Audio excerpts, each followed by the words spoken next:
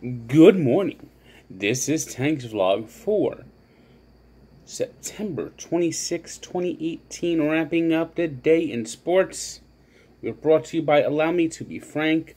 New episode out now with Smitty of Barstool fame. You know Smitty, the one that Michael Rapaport still owes money, still won't pay, and now he's suing?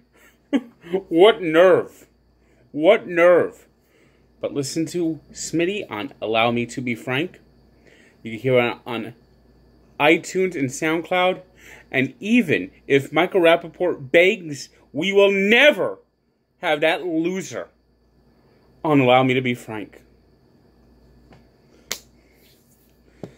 So let's go to the wrap up. It's down to the final five days of the regular season in baseball. And while everything is pretty much settled in the American League, the National League is going down to the wire. Braves are about the only thing that's a certainty. Uh, they're going to the playoffs. They're the National League East champions. And today they rallied to beat the Mets because our manager sucks rainy day, flash floods everywhere. You know who you rely on? You rely on Noah to get you through it. You rely on Noah Syndergaard. Thor, thunderstorms, getting to, over the flood, and he was dealing. Mets up 3 0, but then he brings in Robert Gsellman, who gazucks. And all you next thing you know, it's 4 3 Braves or 7 3 Braves after that. Mets bullpen dumpster fire on Tuesday night. Embarrassing, horrible loss. You know, I understand the Mets set down Zach Wheeler. He reached the ending limit. They don't want him to burn himself out. He had a great second half. Very positive. Let's build him up for next season. After missing two years and having a bad 26 17 and a was off to a bad start of the year. Has had ERA at one point over five, and then he ended up finishing in the top ten in ERA. So they shut him down. Fine, but they keep trucking Robert Gsellman out there, and he has nothing left. Nothing. You know, Gsellman had good points this year. He had bad points this year. He's been terrible in September. He's pitching on fumes. He's tired he's probably reached the limit of what he could pitch. So shut him down too. I mean, what? What? You shut down someone who's good, but you won't shut down someone who sucks? Hey.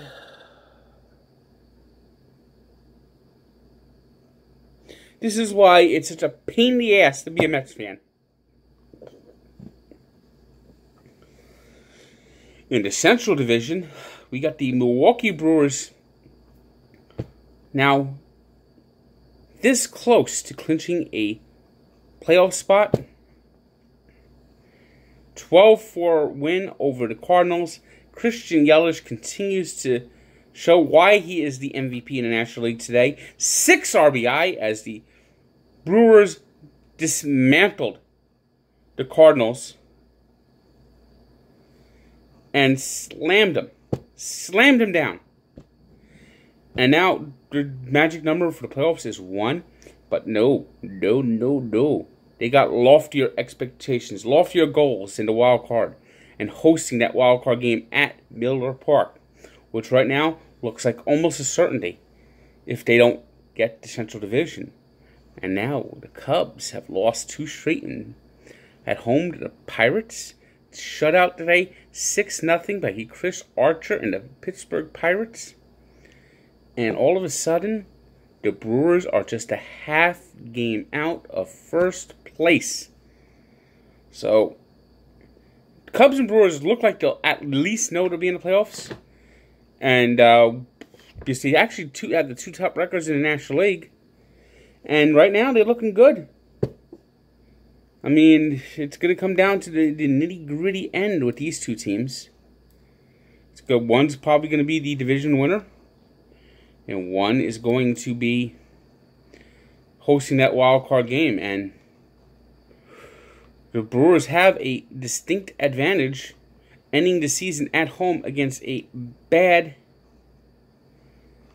Tiger team. While the Cubs will be finishing their season against the Cardinals, who are in a fight for their life for the second wildcard spot. And with the Cardinals' loss today, plus a win by the Colorado Rockies, a 10 3 stomping of the Philadelphia Phillies, the Phillies have literally now quit on the season.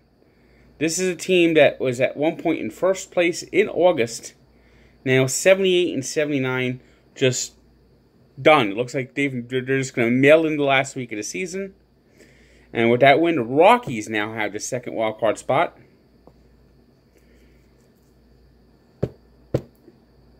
And they too have loftier goals, as they're now also a half game out of first, after the Dodgers were beaten by the Arizona Diamondbacks 4 to 3. Dodgers fought back all night long, tied the game in the ninth inning, but in the bottom of the inning, Eduardo Escobar got a walk-off home run off of Kenta Maeda to give the Diamondbacks a 4-3 win. Diamondbacks have been eliminated but boy, they could certainly put a hurting on the Dodgers.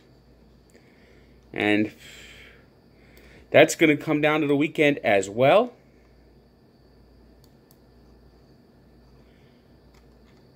And the Rockies end their season against the Nationals, while the Dodgers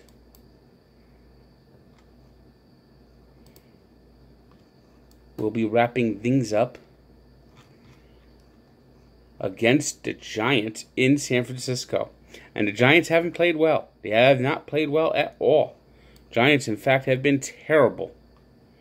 Uh, as we do this vlog right now, they're currently tied in the 12th inning with the Padres. Wins have not come easy, but you can bet this weekend the Giants will bring it. There's been many times that the Giants have taken glee out of knocking the Giants out of the playoffs. Think back 1982. Last game of the season. Braves need a win and the Dodger loss to clinch. And they get it thanks to a Joe Morgan home run. 11 years later, Giants win over 100 games in the last year before wild card play. And what happened? Mike Piazza puts the stake through their heart. As the as the Braves win the West again. So the Giants have many a time when they're out of the race taken glee out of dri uh, driving a stake in their heart. So one year it was the Dodgers that did it. One year it was the Giants that did it. Dodgers did the Giants. So it's it's gonna these two teams throw out the records.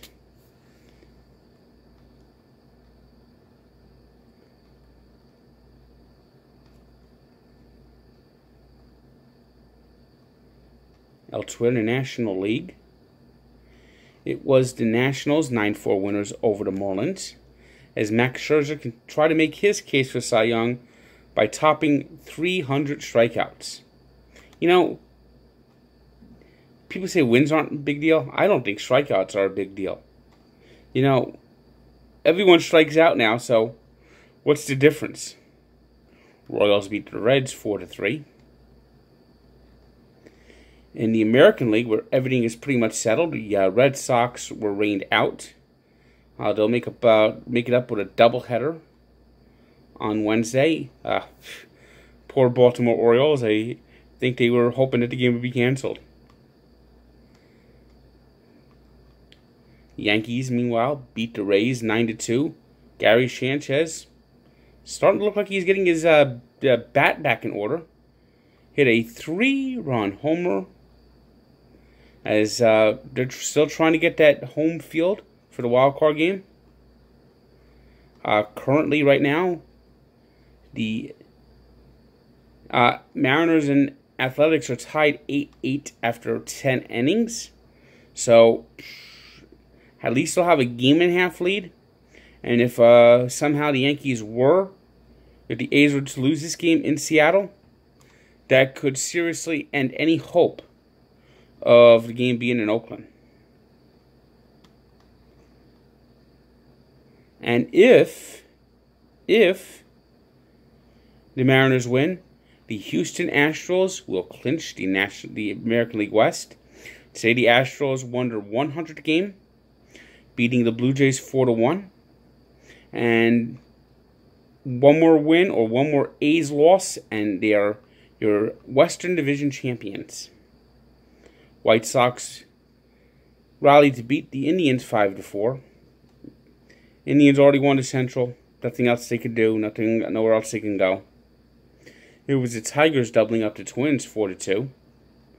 The Angels beat the Rangers 4 to 1.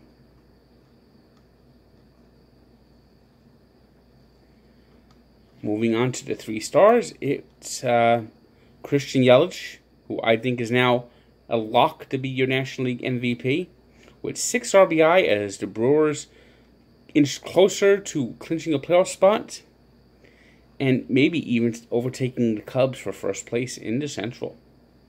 You got Anthony Rendon, who went three for three, four RBI as the Nationals beat the Marlins. Rendon, by the way, it's his second straight day being one of our three stars. And David Dahl, who had four RBI with three for five, and the Rockies win over the Phillies. Today's birthday shout out goes to the legendary tennis player who had a meltdown about a month ago now, uh, Serena Williams. She turns 37. And we take a look back to 1988, when two days after setting the track on fire, winning the 100 meters in 9.79 seconds, Ben Johnson is exposed as a juicer. He loses his medal, loses his reputation, as he was uh, tested positive for anabolic steroids, with Carl Lewis getting the gold medal. Now, of course, years later, they found out almost everyone involved in the race was on something or other. It's just some of them didn't. Uh, they used masking agents and knew how to cycle down. It's just Ben Johnson was the dumb one to get caught. So check out this full story at Barstool Sports and at Sports Encyclopedia where sports history lives. Don't forget to listen to Allow Me to Be Frank on iCloud and SoundTunes. That I I iTunes and SoundCloud. You know, they should merge each other, iTunes and SoundCloud. It sounds like a perfect merger. And good day.